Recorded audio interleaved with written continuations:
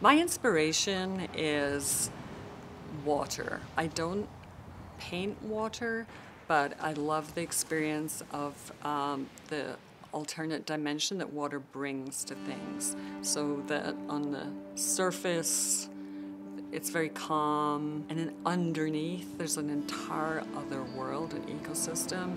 So, what I like to imagine in my work is that strange space between what we see and what we can imagine is underneath the surface. I find being near the water absolutely essential in my work, which is why Hunters Point and the bay is so important to me.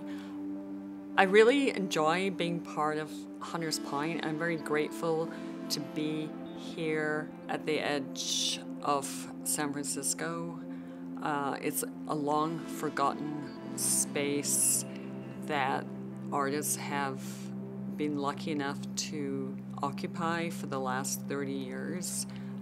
The artists who have been here a long time and still um, are painting right up to the end of their lives. They, they still come to their studio every day and they still create and they're driven to be here and how important I feel it is to honor those that have been here and then pass and then just the kind of ceremonial aspect of laying their studio brushes and the, their tools and everybody comes takes something and often they take a piece of work as a memento of that artist. There's this there's a kind of ritual at the shipyard where they're you know we kind of honor their contribution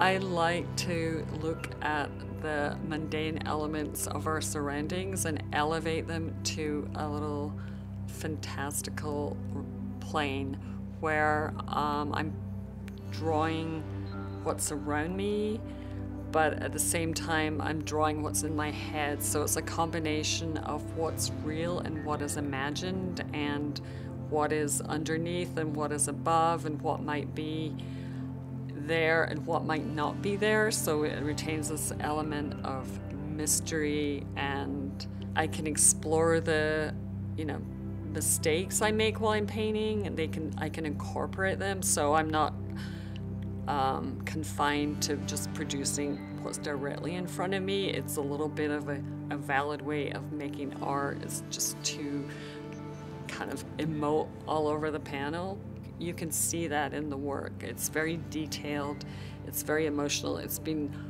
I've worked really hard on pro probably every piece.